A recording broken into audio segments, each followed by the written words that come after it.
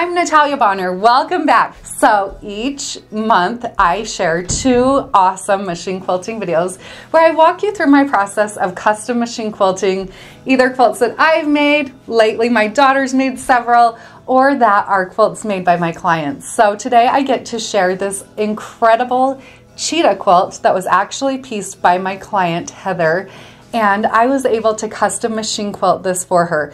So over in the Piece and Quilt Academy, we now have a brand new video where I will walk you through my process from start to finish of custom machine quilting this incredible quilt and bringing it to life. You can enroll in the Piece and Quilt Academy and gain access to that video plus we have over a hundred other videos over there. So it's a great resource for learning and improving your machine quilting. And you can learn all about it and enroll over on our website, pieceandquilt.com. So today we're going to be doing just a little bit of machine quilting. I'm going to be doing all of my quilting here today on my Gammill 22 inch machine. Y'all know that I love machine quilting with rulers, so I will be doing a bit of that. On this fun quilt, I will be using a couple of different thread colors, but I've also recently been trying out the new bobbins by Superior Threads. They're the Super Bobs. I've kind of gone back and forth over the years whether or not I love pre-wound bobbins or if I dislike them. And right now I'm in a phase where I'm really liking the way that they've stitched out. So that's what I will be using here on the bottom of this quilt. And we do now have them available over on our website, pieceandquilt.com. So let's hop over to my machine and let's do just a little bit of stitching on this incredible cheetah quilt.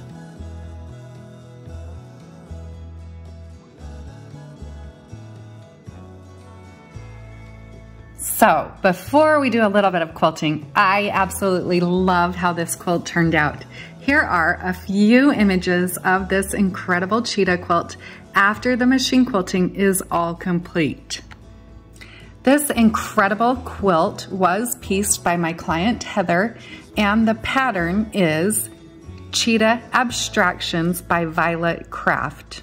Something that I really wanted to do on this fun cheetah quilt is make this cheetah look like he's hanging out maybe in a savannah or some tropical place. I felt like stitching a lot of feathers kind of wrapping around behind him would be a great way to kind of bring that to life. So here I'm using some large rulers that I picked up from the quiltedpineapple.com. Over in the Piece and Quilt Academy, I do share my process of marking out these feather stems before I actually load my quilt onto my machine. So as you can see here, I'm starting out by using those large rulers and I'm stitching a nice long spine. Once I've stitched out that first long spine, then I'm going to use another one of those large rulers by the Quilted Pineapple and I'm going to stitch out another spine. So I'm stitching out kind of the foundation of the design before I start quilting my feathers.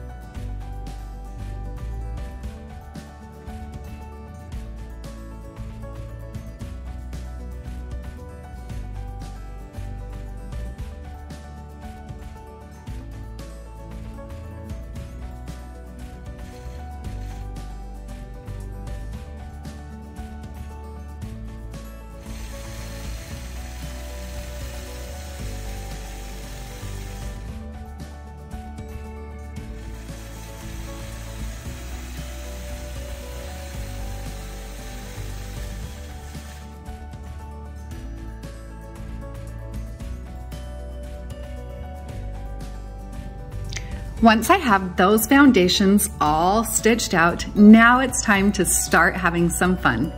Here I'm using a matching So Fine thread and I'm stitching right over that brown border. I'm kind of trying to give this quilt the look that it's in a picture frame, but also has this texture and dimension. So here on the bottom half of the quilt, I am actually stitching right over that border. And then across the top section, I'm going to quilt the border with a different design, which really just adds a cool little extra element of interest. Over in the exclusive Piece and Quilt Academy video, I will show you more of how I do that around the top of the quilt. But as you can see here, I'm using the bump back method and stitching my feathers right along those spines. When machine quilting feathers, I personally have found that I have a little bit better success and control if I focus on just one side of my feather at a time. So here I'm starting with just the feathers on the top side you're viewing this here as if you're standing behind my long arm. So it technically is the top side of the quilt, even though it appears to be the bottom or the bottom side where I'm quilting here. But once I have that first side of my feather all stitched out, I like to stitch an echo line along the outside of my feathers. This is something I often do.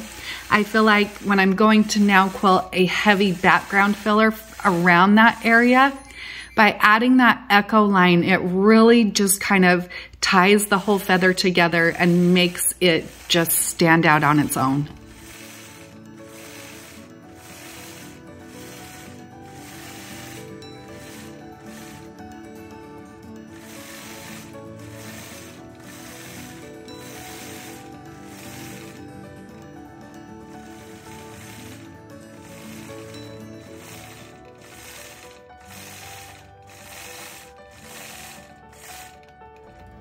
So once I've stitched back to that bottom point, then I'm going to now quilt feathers on that second side.